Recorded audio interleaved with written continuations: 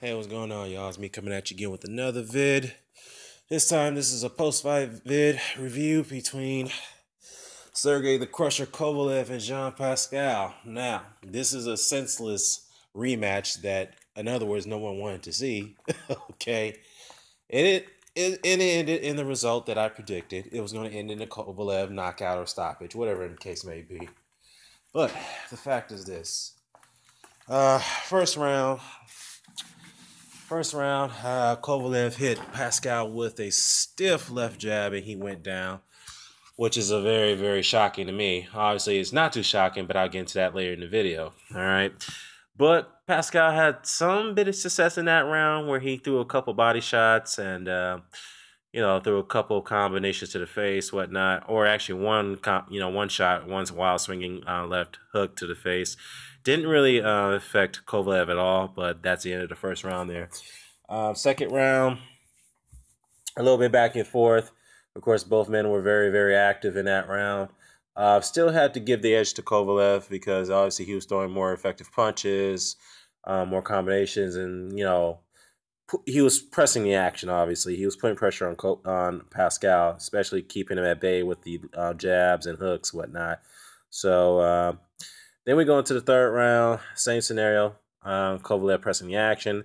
A little bit of activity from Pascal as well, but obviously Pascal was a guy who's waiting for Kovalev to come in and make a mistake so he can throw some of those wide hooks so he can catch him. He did actually clip uh, Kovalev with the right, but it didn't really have much muster because uh, obviously he was throwing those punches wildly and he didn't really commit to that punch. Um, so the fourth round, this is where things really start to turn uh, turned into tide here, where uh, Kovalev had hit Pascal with a monstrous straight right cross to the face, and that really stung Pascal. And then after that, he followed up with the body, left hook to the body, and Pascal didn't recover from there, obviously. And I'm not saying he was really in the fight, but he did have some bit of uh, he did show some activity in the first two rounds, and he started to really slip away in the third, and especially in the fourth round where he ate that right cross to the face and that and took that left hook to the body. So uh, from there, Kovalev started to dominate, and he really trapped Pascal in the corner with many occasions and barraged him with shots and punishing him in the corner. But for some reason, he let him out in the corner, and I'll get to that um, later in this video. But um, he continued to pressure. He continued his punch output going into the sixth round. No changes there from Pascal. No activity whatsoever. Seventh round, same scenario. I mean, Kovalev was still trapping Pascal in the corner, punishing him, letting him out. Uh, again, Pascal just didn't just didn't have it at all.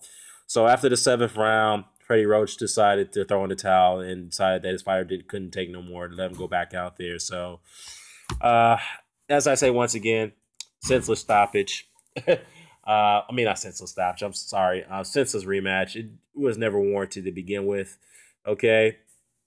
Now, if you ask me during the fight, and the reason why, uh, that's out before I get into that. Now, if you ask me, uh, where does two fighters go from here at this point?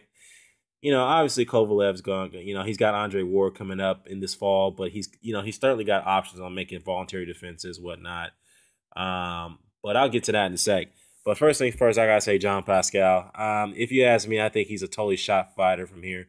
And the reason why I say that is because if you look at the uh, first Kovalev fight, which he actually did much better in that fight, performed better in that fight than he did in this fight. He took a hellacious beating in that fight. Okay. In the second fight, he didn't look great at all. He took some monster shots against Yuniesky Gonzalez, who I felt got robbed on the guards. Of course, in the third fight, given the fact that he went down from a jab, in the first round, even though that was not ruled a knockdown. I mean, it should have been a knockdown, but you know, it is what it is.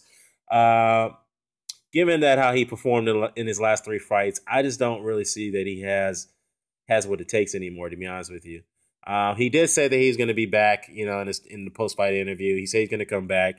But to me, his days as a as a top contender is pretty much done right now, unless he could find a way to regain his form you know, from his days when he fought Carl Froch, when he fought Chad Dawson and um, Bernard Hopkins, whatnot. But I don't see that happening. Now, as far as Sergey Kovalev's concerned, Max Kellerman did ask him in the, in the middle of the interview, of the post-fight interview, was like, "Did you intentionally trap Pascal in several on some occasions in that fight? You punished him, You potentially trapped him in the corner and punched him, and you let him out. Did you do that so that way you wanted to inflict more punishment on him? And Sergey's like said, "Well, yeah, yeah, yeah, I, I did because I, I don't respect him. Yeah, I don't respect him. I don't like him at all." And what Kovalev was referring to is that Pascal was barraging him, was disparaging him um, with you know racial, racism, racism accusations, and you know saying some meaningful things to their trainer John David Jackson, pretty much calling him a coon for training uh, Kovalev. Now, let's not get it twisted here because I am very aware of Sergey Kovalev's um, uh, incident, um, incidents where he had, uh, had, for example, as I stated in my pre-fight video, where he had allegedly, I think this really happened, in a fight when he had with Ishmael Ishikla for the WBO title. He knocked out uh, Shikla in the second round, but when Shikla went down, he yelled at Shikla and said, "You're not a real Russian. You're not a real Russian." Now, mind you, Shikla is from Ukraine. Okay. Second of all, he does have African ancestry. So what does that tell you? and another thing, um, his son was caught. You know, he had his son wear a monkey shirt, t-shirt portraying Donna Stevenson. All right, and he tweeted that. Of course, that caused a lot of uproar and controversy, and he deleted that tweet, tweet and apologized for it. But to me, I think that's way out of line. Did he do that just to intentionally get his Stevenson's head? Perhaps, but I think that's a low ball, and that's definitely not the way to go. And I don't condone that shit at all. Okay. Now, if you want to get to a fighter, say cool, but that's not the way you do it. All right, be inflicting something that's very racial, uh, ra- racially divi- um, divisive for so many years. Okay, or discriminating, I should say. But anyhow, he did mention that before the Andre Ward fight. You know, he does have Andre Ward coming up this fall. Uh, Max him, asked him, "Who do you want to fight next?" He said, "Well, I want I want the unify. I want to fight Adonis Chickinson. Not Stevenson, Chickinson. And then he um, um made the chicken gesture. That's exactly what he did. And that prompted Stevenson to get in the ring and get upset and wanted to go after Kovalev. And he had, you know, entourage had to hold Stevenson back and say, Hey, I'm the real champion. I'm the real champion, you clown. Come here, I'm the real champion. Blah, blah, blah. Now, Adonis Stevenson, I mean, obviously his career career is so stale at this point because ever since he captured that linear and WBC title from Chad Dawson. He had a couple good fights. One against Tony Bellew, which he pretty much won, you know, in the lopsided way. He knocked him out.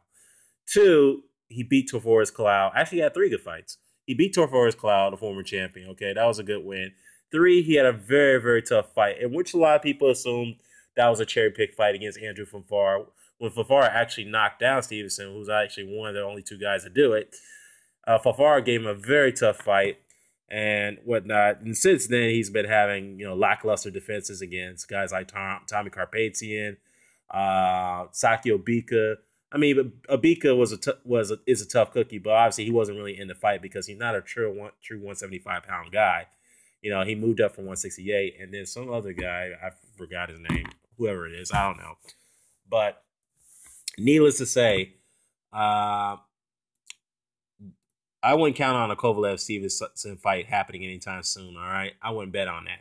However, I would like to see Kovalev fight um, Artur Beterbiev. Now, that's a fight I want to see, and I think Beterbiev has Kovalev's number because, from what I've read and heard, Kovalev has been very dismissive of Beterbiev for the last two years. Now, correct me if I'm wrong, anyone. I think from what I've read is that Beterbiev is, is injured at the moment, so obviously the chances of that fight happening anytime soon is is pretty very very slim at this point. But I really would love to see that fight. And if you ask me, I think Beterbiev will run through Kovalev. And Kovalev, I think when he's asked about it, he's very very dismissive and he doesn't really want to talk about um Beterbiev. But who knows where we go from there. Oh, before I close out this video, I have to say one thing. I realized that my um, debate opponent for the uh, who's greater, the topic on who's greater between Evander Holyfield and uh, Floyd Mayweather uh, that's internal Boxing Guys. I have to say that was a great debate. Uh, much respect, much props to him, or respect to him, I should say. He's a good debater, whatnot, and we definitely needed that in the YTBC. But he put out a video trying to debunk one of my claims about Floyd Mayweather ducking Vivian Harris. All right, and let me respond to that real quickly. Firstly, first, when Vivian Harris captured the WBA title against uh, Hurtado, uh, the same guy who got knocked out by Kostya Tszyu, um, he had three other defenses. Uh, one, I think, one voluntary defense and two against uh, uh, Yurkai, Yurtal, I mean, Yurtai Yurkal. I think that's how you pronounce his name. But his last name is Yurkal. He's the same guy that fought Miguel Cotto to a distance, all right, years ago. Floyd was named the WBA uh, mandatory challenger to Harris's title. And Harris was vehemently calling out Floyd. He vehemently called him out um, during that process. And of course, Floyd is being dismissive, as, as he always is when it comes to um, approaching certain fights and certain fighters. And and Harris took that as a bit of disrespect. So what he did during the press conference of the Gatti and uh, Mayweather fight, you know, the pre, the you know, the lead up to the fight press conference, uh, Harris took it upon himself to to um, inter- to abrupt that press conference and go up to that podium and call out Floyd right in front of everyone, in front of the national audience. So I know you was being clever by putting up that video where Harris was get got knocked out by Carlos Maussa and that was on the undercard of of uh, Gatti and uh, Mayweather. So, but I thought I'd just let that out and give you a little back uh, backstory behind that. But you know, it is what it is. Uh, drop a comment below. Let me know what you think. Do you think John Pascal is shot right now? Do you think he has any more fights left in him, or uh, where do you see Sergey Kovalev going at this point before the Andre Ward fight? Uh, who do you think he should fight? Should he should fight Artur Beterbiev even though he's injured right now? I think he should fight him. I think he could fight him before the Andre Ward fight come about. Or Andrew Fonfara. I think that'd be a good fight. I would love to see that fight. Well, anyhow, let me know what you think. Care, comment, share, subscribe. Sign it off. Peace.